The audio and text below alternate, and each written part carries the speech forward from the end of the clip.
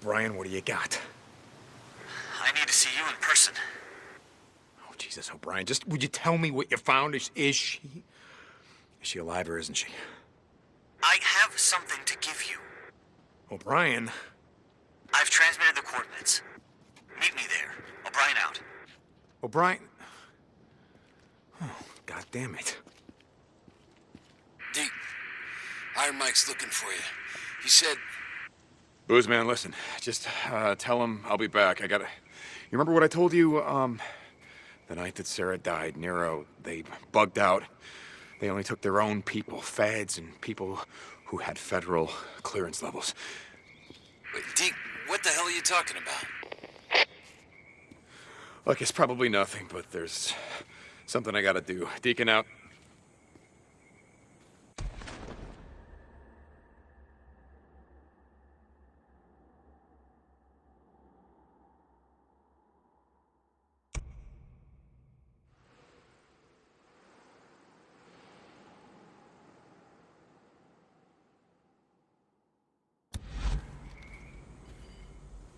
Hey, nothing.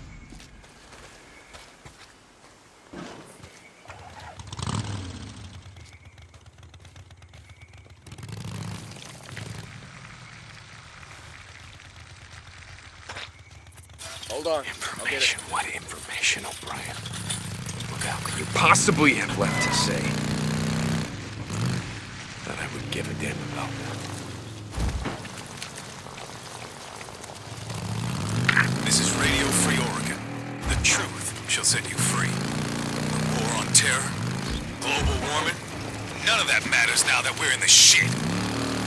all just part of the goddamn conspiracy. Give me some so screaming! listen up. The war on terror is just smoke and mirrors.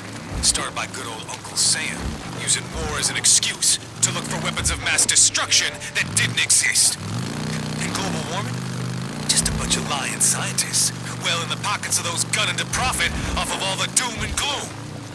When you think about it, all of this, just another way to build unrest in the people.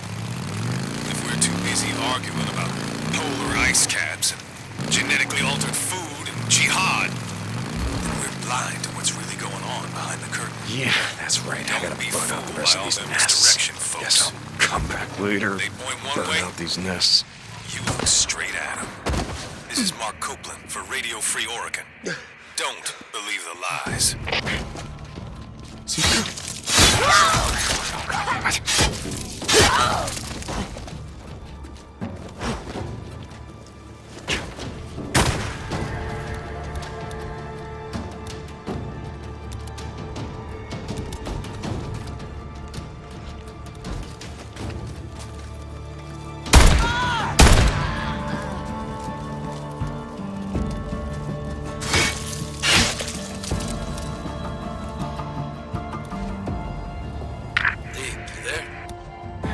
Booze Man, what's up? I just, I just wanted to say thanks for the dog.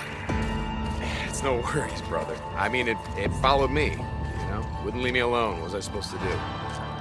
Hey, hey, get down. Hey, come on. Easy. Yeah, sure it followed you. Hey, uh, I named him Jack.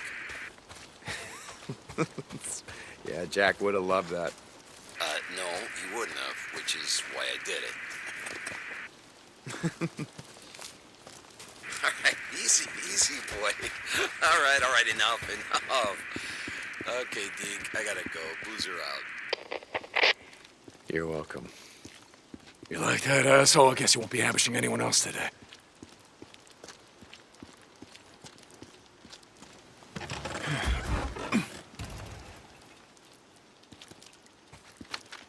I can fix this.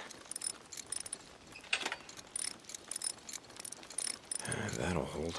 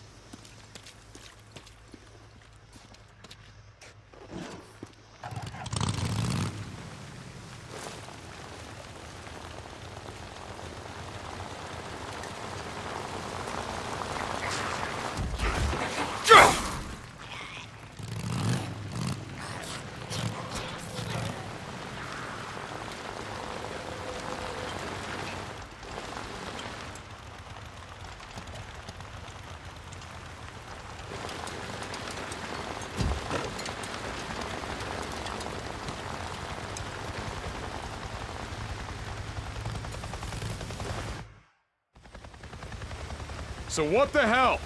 I managed to recruit a few guys who I trust who, like me, aren't happy with what's going on. So why am I here? I wanted to give you this. You were right. About your wife. Where did you get this? When Silver Lake evacuated, they took Nero personnel, federal officials, and well, Sarah Irene Whitaker had a Class 4 federal clearance level. Clearance level. Your wife bugged out with a recon unit, east of Fort Rock. Take me there. No, No. Well, you got a ride. We're all friends now. the base is gone. What? A year ago. Local militia group. Militia group. Where's their camp? We don't know. How the hell can you not know? You got a helicopter. You got satellites. Somewhere around Crater Lake, but it's a no-fly zone, okay? They got outposts, rockets, RPGs. Crater Lake. Crater Lake. I want to tell you about the work we're doing. Studying the infected, the freaks. They're evolving. As bad as things are right now, they're gonna get worse. A lot worse.